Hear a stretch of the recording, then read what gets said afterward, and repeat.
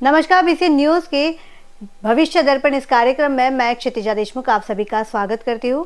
आज हम जानेंगे दीपावली के पर्व के बारे में। हमारे साथ स्टूडियो में उपस्थित है ज्योतिषाचार्य श्रद्धानंद मोहन जी।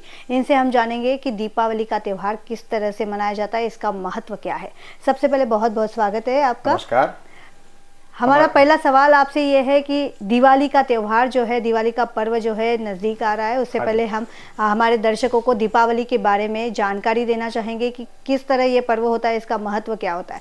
और इसी संदर्भ में आपका पहला सवाल ये है कि दीपावली के पर्व के बारे में हमारे दर्शकों के दर्शकों को आप जानकारी दीजिए क्या बताओगे? ये देखिए दिवाली का दीपावली का दो महत्व है एक्चुअली दीपावली एक तो यूँ मनाया जाता है कि भगवान राम जब रावण को संहार करके या मार कर वापस अयोध्या आए, तभी अयोध्या में लाखों करोड़ों दिया जलाए गए। उस दिन से दिवाली, दीपावली मनाने का प्रथा चालू हुआ।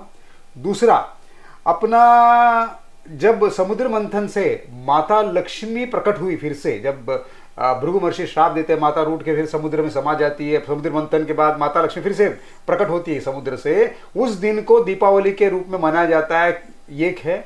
और दूसरा ये धनतेरस जो होता है दीपावली में, धनतेरस वही दिन है जहाँ पे भगवान धनवंतरी समुद्र मंथन से बाहर आए और अमृत लेकर आए दवाई आपको जैसे मालूम है, धनवंतरी जो है ना, देवताओं के वैद्य है। यानी अच्छा कोई डॉक्टर बनने के लिए अगर इस धरती पे कोई जन्म लेता है या समझ लेना कि भगवान धनवंतरी का आशीर्वाद प्रचुर मात्रा में उस बंदे पे है, उसी वो अच्छा डॉक्टर बनता है। दूसरा है अपना ये जो दिवाली का जो महत्व एक ज्योतिषी महत्व क्या है देखो ये ज्योतिषी का कार्यक्रम है अपना बिल्कुल। इसमें कैसा है? ये जो रात्रि होता है ये दिवाली का जो रात्रि होता है सबसे अंधेरा रात्रि माना जाता है बारह बारह अमावस्या में सबसे बड़ा अमावस्या माना जाता है। और इसमें और एक विशेषता क्या होता है? सूर्य भगवान जो रहते हैं ना दिवाली में सूर्य भगवान आके नीच राशि में रहते हैं तुला राशि में जो नीच राशि तो ये जो अमावस्या है लंबा भी होता है अंधेरा भी होता है और इसमें निगेटिव एनर्जी बहुत ज़्यादा कारगर रहता है दिवाली के रात्र में। ठीक है? और जिसके पत्रिका में समझो सूरज नीच का रहा उसको प्रॉब्लम्स भी बहुत रहता है। नेगेटिविटी जल्दी पकड़ता है उसका तेजस जो है कम ही रहता है लोगों में थोड़ा प्रखरता कम रहता है उसमें। तो ये दिवाली का जो रात जो है सूरज नीच का होना और ये सब सम, ये सब कारण होने की वजह से दिवाली के रात को हम हर जगह हर घर में दिया जलाते हैं ताकि निगेटिविटी न हो। हमको परेशानी नहीं हो। और दूसरा प्राकृतिक कारण ये क्या है? देखो अभी ये श्रावण मास आता है अश्विनी मासा तो उसमें क्या होता है कीट पतंग ये जो अपना हमारा जो ये पोलन होता है या अपने जो धान की कटाई करते हो देखो कीड़े पतंगे बहुत पैदा हो जाते हैं। तो वो भी समाप्त होना करके हम हर घर में दिया जलाते हैं वो दिए में क्या आता है वो जो जलते रहता है दिया उसमें कीट पतंगे आके उसमें समा जाते जल जाती है या उनका देहांत होता है। तो ये एक अपना प्राकृतिक रूप से है। तो ये बताया हमने एक पौराणिक ज्योतिष और प्राकृतिक। देखिए अभी जानते हैं आपका पहला सवाल। बिल्कुल। हाँ जो दीपावली का पर्व होता है ये पाँच दिन मनाया जाता है। धनतेरस है भाई दूज है या बलि प्रतिपदा है हाँ नरक चतुर्दशी हाँ है। तो हम ये जानना चाहेंगे कि इन सब त्योहारों का क्या महत्व है इन दिनों का अलग से क्या महत्व है? साथ ही साथ धनतेरस जो होता है इस दिन बहुत बड़ी मात्रा में जो है खरीदारी की जाती है हाँ सोने चांदी की वस्तु हो या बर्तन आदि हो। तो धनतेरस के त्यौहार के बारे में बताइए और बताइए और इस दौरान जो है क्या करना चाहिए क्या नहीं करना चाहिए क्या बताओगे? देखिए पहली बात कैसा है? धनतेरस जो है दस नवंबर को है यानी दस ग्यारह दो हज़ार तेईस यानी दस नवंबर को है शुक्रवार के दिन आता है। और ये धनतेरस का जो होता है धनतेरस में भगवान कुबेर का और भगवान धनवंतरी का विशेष करके पूजा होता है। और धनवंतरी भगवान का प्राकट्य समुद्र मंथन से होने से इसको धनतेरस यानी धन त्रयोदशी करके मानते हैं। हम्म। और इस धन त्रयोदशी के दिन हम अगर चांदी सोना खरीदते हैं, छोटा छोटा मोटा जो भी चांदी सोना खरीदते हैं तो बहुत शुभ है। नहीं होता है तो पीतल या तांबा या फिर ऐसे कोई पूजा पाठ के जो वस्तु है वो खरीद सकते हैं। कुछ भी नहीं है तो किचन के सामान खरीद सकते हैं। लेकिन जो लोग बिल्कुल भी शक्य नहीं है, वो सिर्फ़ अच्छे से किचन के छोटे मोटे बर्तन ला के भी धनतेरस को मना सकते हैं। देखिए, ये बात हो, लेकिन दूसरा क्या है? धनतेरस के दिन क्या नहीं खरीदना चाहिए? इसमें कैसा है? चमड़े की वस्तु नहीं खरीदना चाहिए और जूते, चप्पल नहीं खरीदना चाहिए। और इसमें आप, जैसा कचरे का डब्बा हो, कोई डस्टबिन खरीद लिया, कोई सूप, झाड़ू खरीद लिया, वो नहीं करना चाहिए। और इसके अलावा तेज चीज़ें, जैसे चाकू छुरी हो गया या काटने की चीज़ें, पीलर्स हो गए नेल कटर्स हो गए, वो सारे बिल्कुल नहीं खरीदना चाहिए। कीले हार्डवेयर की चीज़ें नहीं, लोहा की, लोहा भी नहीं खरीदना चाहिए हार्डवेयर की चीज़ें भी नहीं खरीदना चाहिए, एक दिन टाल देना चाहिए। क्योंकि धनतेरस के दिन हम जो खरीदते हैं, शुभ मुहूर्त में, शुभ मन से जो खरीदते हैं, वो सारा साल अपने को शुभता प्रदान करता है, ये शास्त्रों में लिखा गया है। और दूसरा कैसा है, धनतेरस के दिन जो शुक्रवार को पड़ता है, दस तारीख को, इसमें कैसा है सवेरे साढ़े दस बजे से लेके बारह बजे तक का राहु काल है। तो कृपया सारे दर्शक ध्यान दें कि सवेरे साढ़े दस से दोपहर के बारह बजे तक अगर कुछ नहीं खरीदते हैं तो उनके लिए शुभदायक रहेगा। बिल्कुल। नरक चतुर्दशी भी मनाई जाती है। इस दिन हाँ भी कुछ पूजा पाठ होता है। क्या बताओगे? देखिए ये जो नरक चतुर्दशी है 12 तारीख को है नवंबर 12 12 11 2023 यानी 12 तारीख को अपना नरक चतुर्दशी है। और ये रविवार को पड़ता है। और अपना ये साल क्या हुआ है, जो तेरह तारीख को अपना कोई हम लोग त्यौहार नहीं मना रहे हैं, ये 12 तारीख को हम नरक चतुर्दशी मना रहे हैं। ये नरक चतुर्दशी क्या है, कब तक का है? सूर्योदय से लेके दो दो दो बजकर चौवालीस minute two forty four P M दो बजकर चौवालीस, दोपहर तक का ही नरक चतुर्दशी है। तो नरक चतुर्दशी का जो पूजा करते हैं हम तो वो नरक चतुर्दशी का पूजा हमने दो दो, बजकर चौवालीस मिनट तक का ही करना चाहिए। और ये नरक चतुर्दशी क्यों मनाया जाता है? इसके पीछे कारण क्या है? नरक चतुर्दशी के दिन भगवान कृष्ण ने नरकासुर का वध किया था। और सारे संसार को उसके पाप से उसकी पीड़ा से मुक्ति दिया था। और कहा जाता है कि सोलह हज़ार स्त्रियाँ सोलह हज़ार गोपियाँ सोलह हज़ार जो ऋषि मुनि थे वो गोपियों के रूप में थे। उनसे ब्याह था या शादी किया था या तात्पर्य हो सकता है उनको अपनाया था ये भी हो सकता है या उनको मुक्ति दिया था। तो ये अपना रक्त का एक एक अपना सांकेतिक रूप है। और दूसरा है अपना जैसा आपने पूछा लक्ष्मी पूजन और दिवाली। देखो ये दिवाली जो होता ना इसमें हम दिया जलाना चाहिए अच्छे वस्त्र पहनना चाहिए घर में मिठाई रखना चाहिए, आए हुए मेहमानों को मिठाई फरसान खिला के भेजना चाहिए। हर जगह खुशियाँ रहना है और एक दूसरे के साथ गले मिलना चाहिए, एक दूसरे खुशियाँ बांटना चाहिए, मिठाई बांटना चाहिए। खुशी का त्यौहार होता है दियो का जगमगाना त्यौहार होता है। क्यों? ये दिवाली के दिन घर में साफ़ सफ़ाई रखना चाहिए घर में चिलम चिली नहीं होना चाहिए, या फिर वाद विवाद नहीं होना चाहिए, जुआ या शराब सेवन, या फिर अपना मांस मांस मांस का सेवन नॉनवेज का सेवन बिल्कुल नहीं करना चाहिए। और घर को शुद्ध करके, घर का हर कोना शुद्ध करके, साफ़ करके, गोमूत्र से साफ़ करके, या अच्छे जल से शुद्ध करके, उसको क्लीन से रखकर, रंगोली वगैरह डालकर, आम के तोरण डालकर, माता लक्ष्मी का स्वागत करना। कहा जाता है, देखिए मैडम, दिवाली का जो रात होता है ना, दिवाली के रात के अमावस्या के दिन माँ का प्रकट हुआ। यानी बोलते हैं समुद्र मंथन से। उस दिन पे माँ भगवती, महालक्ष्मी सारे संसार का भ्रमण करने निकलती है।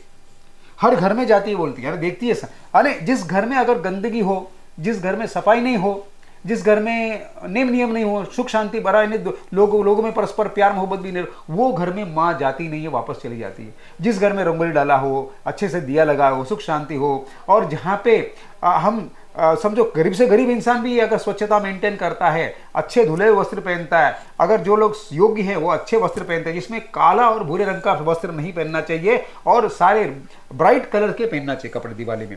खुशी वाले।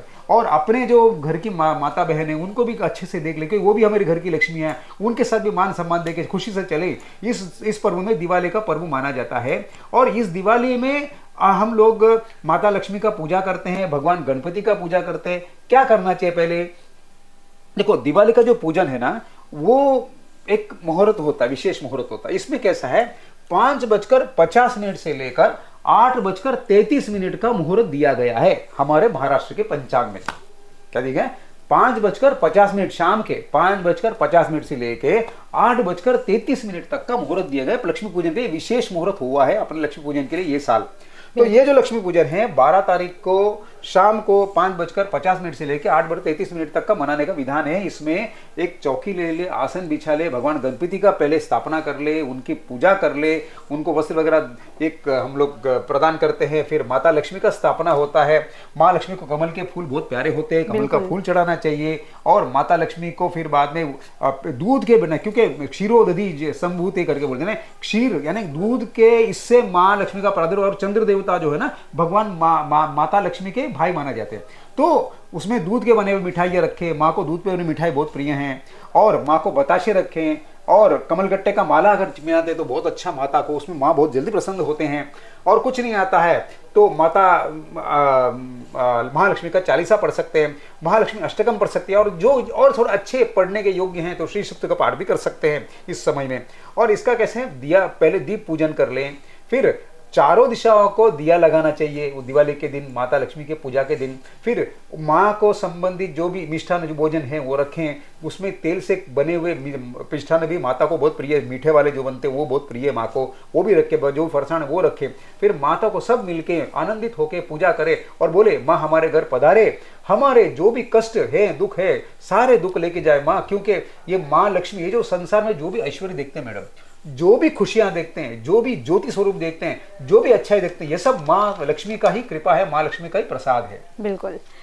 लक्ष्मी पूजन के दूसरे दिन जो होती है बलि प्रतिपदा ये भी पर्व मनाया जाता हाँ जी देखिए इसके बारे में बताएँ। देखिए ये क्या ये समय क्या हो गया? नरक चतुर्दशी और दीपावली मा, माता लक्ष्मी का पूजा जो है वो दोनों एक ही दिन पे आया ठीक है? तो जो भी दुकानदार हैं जो भी बिज़नेस वाले हैं वो शाम को 12 तारीख को लक्ष्मी पूजन कर लेंगे जो हमने मुहूर्त बोला उसमें।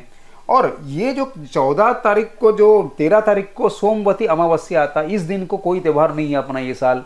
हमारा ये साल जो है ना, जो बड़ी प्रतिपदा, जो पाड़वा मानते हैं बड़ी प्रतिपदा जो पाड़वा मानते हैं, वो है चौदह तारीख को, चौदह ग्यारह दो हज़ार तीस, यानी चौदह चौदह नवंबर को हम बड़ी प्रदापदा मना रहे हैं। इसमें कैसा है बड़ी प्रदा में, जो इसका एक अपना कहानी है नहीं हमारे पुराणों में लिखा गया कहानी ऐसा है, इसका इतिहास।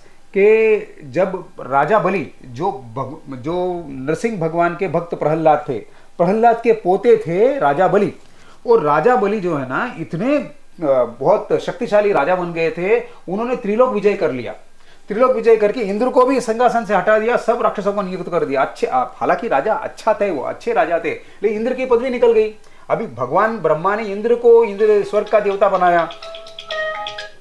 अभी भगवान अभी भगवान ब्रह्मा ने इंद्र को स्वर्ग का देवता बनाया। अभी भगवान ब्रह्मा ने इंद्र को स्वर्ग का देवता बनाने से क्या हो गया? बलि राजा को स्वर्ग का देवता नहीं रहना देना चाहिए करके सारे देवी देवता गए भगवान विष्णु के पास। बोले प्रभु भगवान ये बलि बलि राजा ने तीनों लोग पे आक्रमण करके तीनों लोग राजा बन गए। आप कुछ करो हमको पीड़ा दिला हमको मुझे फिर से इंद्र बनाओ। तो भगवान नारायण वामन अवतार लेते हैं जिसमें छोटे से बालक तीन फुट के बालक बन के जाते भगवान नारायण वामन अवतार में। वामन अवतार में जाके बोलते हैं बलि बलि चक्रवर्ती से बोलते हैं भाई मेरे को सिर्फ़ तीन पद दान चाहिए। अभी राजा बलि चक्रवर्ती उनको लगा कि भाई वो बहुत बड़े राजा हैं सब कुछ जानते सब कुछ दे सकते हैं अपने भक्तों को अपने याचकों को। तो उनको लगा तीन पग तीन पग तो पूछ रहा है ज़मीन लड़का छोटा सा बच्चा है कितना मांगेगा? तो इन्होंने फिर दान तिरसो हालाँकि शुक्राचार्य उनके गुरु मना करते फिर भी गुरु को गुरु को बात काट के उनको पता चलता कि भगवान नारायण ही जो मांगने आए। उनके बाद भी उनका बड़ा दिल इतना रहता बलि राजा का कि भगवान नारायण मांगने आया करके वो क्या करते हैं? गुरु का आदेश को भी अनदेखा करके तीन पग देने का उन्होंने ये करते तब भगवान नारायण क्या करते हैं? बड़ा विराट रूप ले लेते हैं। इतना विराट रूप लेते हैं कि एक एक पग में पूरा धरती नाप लेते हैं। दूसरे पग में स्वर्ग लोग नाप लेते हैं। अब बलि राजा के पास धरती और स्वर्ग ही है दूसरा कोई लोक नहीं है। तो वो बोलते हैं और एक पग में कहा रखू? बलि करके पूछते हैं भगवान नारायण। तब बलि चक्रवर्ती बोलता है, प्रभु, मेरा पास और कोई दूसरा नहीं है, क्योंकि आपने पृथ्वी पूरा नाप लिया। स्वर्ग लोग भी नाप लिया। मेरे पास कोई ज़मीन ही नहीं है। तो एक काम करो, मेरा ये शीश है, मेरे सर पे आपका पाँव रख दो। तो भगवान नारायण बहुत खुश होते बलि बलि बलि राजा पे। बोलते हैं मेरा इतने सारे भक्त हैं इसमें तो, तो सबसे श्रेष्ठ भक्त है। असुर होने के बाद भी तेरे अंदर दैव गुण है। तो मैं तेरे को वरदान देता हूँ कि आज के दिन पे जो मैंने तेरे सर पे पाँव रखा है ये तूने मेरे सर ते, मेरा तेरा सर मेरे पाँव रखने के लिए स्थान दिया है तो आज का दिन बलि प्रदा मनाया जाएगा। तो इस बलि प्रदा के दिन जो भी भक्त तेरे को और बलि राजा ने बलि राजा को मान के बलि राजा को पूजा करता रंगोली में उसका फ़ोटो चित्र वगैरह निकाल के पूजा करके मीठा रख के बताशे रख के जो हमारा पूजा करेगा और भगवान वामन को जो याद करेगा भगवान लक्ष्मी नारायण का जो पूजा करेगा उसके घर से सारे संताप कष्ट निकाल के उसको ऋण मुक्त करूँगा। बाप रे खांसी आ गई एकदम से। वो एंडिंग का ले लेते हैं। आप थोड़ा सा? ऋण मुक्त करूँगा करके बोला है। ठीक है अभी एडिट कर लेना आप। हाँ अभी नेक्स्ट भाई दूज बोले मानी चाहिए नहीं नहीं। हाँ। बलि प्रतिपदा के बाद जो है भाई दूज का पर्व मनाया जाता है। भाई बहन के प्यार का ये जो रिश्ता है इस दिन जो है भाई दूज मनाई जाती है। क्या बताओगे? देखिए भाई दूज जो होता है ना वो भाई बहन के प्यार को दिखाता है। ये भाई दूज सबसे पहले कब से शुरू हुआ? यमराज और माता यमुना से शुरू हुआ। दूसरा इसमें सांकेतिक अपना रूप क्या है? इसमें भगवान कृष्ण जब नरकासुर का वध करके त्रिलोक विजय होके, क्योंकि नरकासुर बहुत शक्तिशाली राक्षस था, बहुत शक्तिशाली राक्षस था, उसको मारना संभव नहीं था। तो भगवान नारायण सत्यभामा को साथ लेके भगवान नारायण, भगवान विष्णु भगवान कृष्ण, भगवान इसको वध करते हैं नरकासुर का वध करके, जब उनकी छोटी बहन सुभद्रा सुभद्रा के पास जाते हैं तब देवी सुभद्रा भगवान लक्ष्मी, भगवान कृष्ण को देख के बहुत खुश होके उनका विजय जो करते हैं, जब जीत कर आते हैं नरकासुर से, उनका टीका करके, उनके दूध से बना हुआ मिठाई खिला के उनकी आरती उतारते हैं और उनके चरण धोकर उनको पूजा करते हैं। ये होता है सांकेतिक रूप अपने भाई दूज का। भाई दूज का दूसरा सांकेतिक रूप ये होता है कि हर भाई अपनी बहन की सुरक्षा के लिए, अपनी बहन की संरक्षा के लिए वचनबद्ध होता है इस दिन पे। और हर बहन जो भी छोटी बड़ी जो भी बहन है, अपने भाइयों के आयु आरोग्य ऐश्वर्य के लिए कामना करते हुए माता लक्ष्मी और भगवान नारायण से ने भगवान विष्णु से प्रार्थना करते हैं कि उनके भाई का घर आबाद रहे उनके भाई का और उनका साथ हमेशा जीवन भर बना, रहे करके वो भगवान से प्रार्थना करती ये था अपना दिवाली। देखिए दिवाली ज्योतिष कार्यक्रम है। मैं छोटा सा बताना चाहूँगा। दिवाली के दिन क्या करना चाहिए? दिवाली के दिन पे कभी भी शुभ, शुभता घर में रखना चाहिए, स्वच्छता रखना चाहिए, रद्दी वगैरह उसके पहले जाले मकड़े वगैरह क्लीन करना चाहिए। बच्चों को अच्छे कपड़े, अच्छे अच्छे कपड़े अच्छे कपड़े अगर जिनको नहीं है, वो धुले हुए साफ़ कपड़े पहने। घर में अच्छे से पोछा करना चाहिए, घर के सामने रंगोली डालना चाहिए और घर में सुगंधित अगरबत्ती लगा के अच्छा वातावरण बना के रखे। और जब हम माता का पूजा करते हैं तो दक्षिण दिशा के ओर, ये ध्यान रखिए दर्शकों, दक्षिण दिशा के ओर ज़रूर सरसों का तेल का दिया ज़रूर लगाएँ घर पे तो इससे आपके घर में आने वाला अनिष्ट नहीं आएगा। पहला। दूसरा, घी का दिया और एक तेल का दिया ज़रूर लगाए माता के सामने। राइट साइड में घी का दिया, लेफ़्ट साइड माता के तेल का दिया, तेल का तेल का दिया लगाएँ। तीसरा, जब हम कोई भगवान, हनुमान जी का एक चित्र ले ले, भगवान हनुमान जी का एक चित्र है, फ़ोटो है, मूर्ति, उसके सामने घी का दिया लगा दे। उस घी के दिए में क्या करना है? दो दो अपना कौड़ियाँ, दो कौड़ियाँ डाल दे। पीले रंग की या सफ़ेद रंग की कौड़ियाँ तो सब डाले। काले रंग की नहीं डाले, पीले या सफ़ेद रंग की कौड़ियाँ डाल, दो कौड़ी। पूरा रात उसको जलने दो, वो कौड़ियाँ दिए के रहने दो। सवेरे जैसा अपना संपन्न होता है पूजा, उसको अच्छे से पोछ ले। धोना नहीं है, पोछ के क्लीन से कपड़े से पोछ कर उसको लाल कपड़े में बाँध के अपनी तिजोरी में रखने से उससे कहते हैं कि धन धान्य ऐश्वर्य बढ़ता है। और तीसरा इसमें यह भी है, दिवाली के रात को कोई भी अगर मंत्र पाठ करते हैं, पूजा पाठ करते हैं, स्तोत्र मंत्र पढ़ते हैं, जल्दी अपने को उसका फल मिलता है। उसका इंटेंसिटी यानी एक बार हम करो दिवाली में तो सौ गुना फल मिलता है, ये कहा जाता है शास्त्रों में।